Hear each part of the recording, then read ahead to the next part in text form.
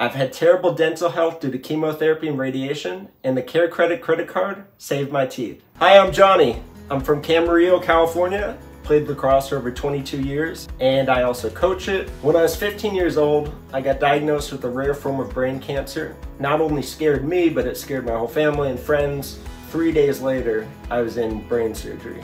I also had chemotherapy and radiation following that. With chemotherapy and radiation comes weakening of the enamel of your teeth.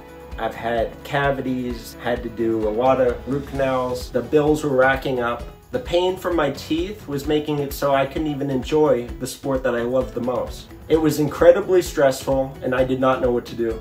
A true blessing was when my dentist mentioned the Care Credit credit card. Having the Care Credit credit card has made it so that I can have these procedures and not have to worry about the piling of the bills. Thank you, Care Credit, for helping me take care of this smile.